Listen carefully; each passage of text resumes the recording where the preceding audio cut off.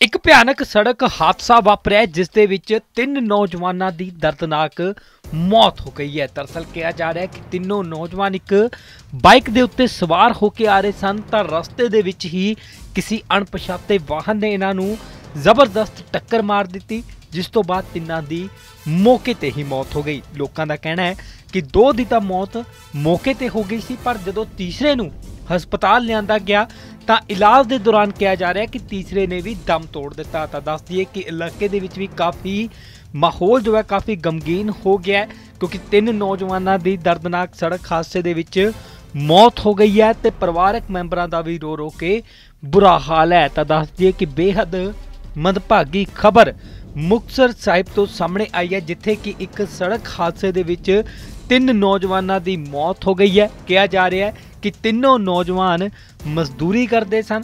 ਆਪਣੇ ਕੰਮ ਤੋਂ ਜਦੋਂ ਘਰ ਵਾਪਸ ਆ ਰਹੇ ਸਨ ਤਾਂ ਰਸਤੇ ਦੇ ਵਿੱਚ ਹੀ ਇੱਕ ਅਣਪਛਾਤੇ ਵਾਹਨ ਨੇ ਤਿੰਨਾਂ ਨੂੰ ਟੱਕਰ ਮਾਰ ਦਿੱਤੀ, ਜਿਸ ਤੋਂ ਬਾਅਦ ਕਿਹਾ ਜਾ ਰਿਹਾ ਕਿ ਤਿੰਨਾਂ ਦੀ ਮੌਤ ਹੋ ਗਈ ਹੈ। ਪਰਿਵਾਰਕ ਮੈਂਬਰਾਂ ਦਾ ਰੋ ਰੋ ਕੇ ਬੁਰਾ ਹਾਲ ਹੈ।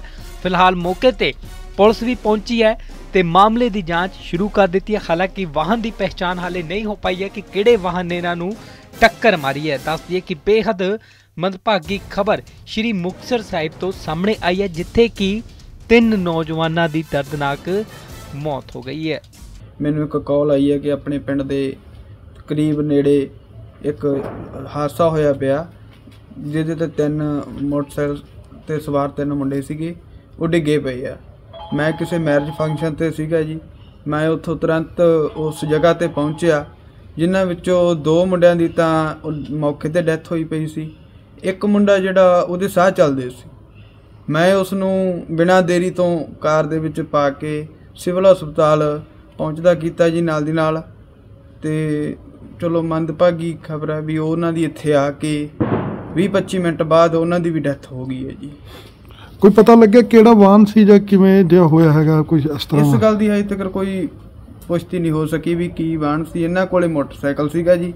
ਪਰ ਇਹ ਨਹੀਂ ਪਤਾ ਲੱਗਿਆ ਵੀ ਕਾਹਦੇ ਚ ਵੱਜਿਆ ਜਾਂ ਕੀ ਹਾਦਸਾ ਹੋਇਆ ਕਿਹਦੇ ਨਾਲ ਵੱਜਿਆ ਇਹਦਾ ਕੋਈ ਹਜੇ ਤੱਕ ਨਹੀਂ ਪਤਾ ਲੱਗਿਆ। ਇੱਥੇ ਕੀ ਪ੍ਰਬੰਧ ਨੇ ਜਿਹੜੇ ਮੋਰਚਰੀ ਪਹੁੰਚੇ ਹੈਗੇ ਉਹਨਾਂ ਦੇ ਡੈੱਡ ਬੋਡੀ ਸਜੇ ਬਾਹਰ ਪਈਆਂ ਹੈਗੀਆਂ ਨੇ। ਡੈੱਡ ਬੋਡੀ ਤਾਂ ਜੀ ਐਂਬੂਲੈਂਸ ਦੇ ਵਿੱਚ ਲੈ ਆ ਕੇ ਤਕਰੀਬਨ ਸਾਨੂੰ 2 ਘੰਟੇ ਹੋ ਗਏ ਜੀ ਇੱਥੇ ਖੱਜਲ ਖਰਾਬ ਹੁੰਦਿਆਂ ਨੂੰ। ਤੇ ਹਜੇ ਤੱਕ ਸਾਡਾ ਕੋਈ ਮੋਚਰੀ ਚ ਰੱਖਣ ਵਾਸਤੇ ਇਹਨਾਂ ਦਾ ਪ੍ਰਬੰਧ ਨਹੀਂ ਹੋਇਆ ਜੀ। ਸਿਵਲ ਪ੍ਰਸ਼ਾਸਨ ਨੂੰ ਅਸੀਂ ਇਹੀ ਬੇਨਤੀ ਕਰਦੇ ਹਾਂ ਵੀ ਦੋ ਤਿੰਨ ਵਾਰੀ ਅਸੀਂ ਮਿਲੇ ਆਏ ਹਾਂ ਪ੍ਰਸ਼ਾਸਨ ਨੂੰ। ਇਹਨਾਂ ਦੇ ਜੋ ਵੀ ਡਾਕਟਰ ਜਿਨ੍ਹਾਂ ਦੀ ਡਿਊਟੀ ਹੈ, ਨਾਈਟ ਇੱਥੇ ਇੰਚਾਰਜ ਆ, ਉਹ ਕਹਿੰਦੇ ਅਸੀਂ ਮੰਗਵਾ ਰਹੇ ਹਾਂ ਜੀ ਫ੍ਰਿਜ ਤੇ। ਸਾਨੂੰ ਬਹੁਤ ਖੱਜਲ ਖਰਾਬੀ ਹੈ ਜੀ, ਇੱਕ ਤਾਂ ਨੌਜਵਾਨ ਮੁੰਡੇ, ਸਾਡੇ ਪਿੰਡ ਦੇ ਨੌਜਵਾਨ ਮੁੰਡਿਆਂ ਦੀ ਡੈਥ ਹੋ ਚੁੱਕੀ ਹੈ, ਪਰਿਵਾਰ ਇੱਥੇ ਖੱਜਲ ਖਰਾਬ ਹੋ ਰਹੇ ਹੈ ਜੀ। ਐਸੀ ਭਾਈਚਾਰੇ ਨਾਲ ਸੰਬੰਧਿਤ ਸਾਰੇ ਪਰਿਵਾਰ, ਮਿਹਨਤ ਮਜ਼ਦੂਰੀ ਵਾਲੇ ਪਰਿਵਾਰ ਆ ਜੀ। ਤੇ ਹਜੇ ਤੱਕ ਇਹਨਾਂ ਨੇ ਕੋਈ ਪ੍ਰਬੰਧ ਨਹੀਂ ਕੀਤਾ ਜੀ।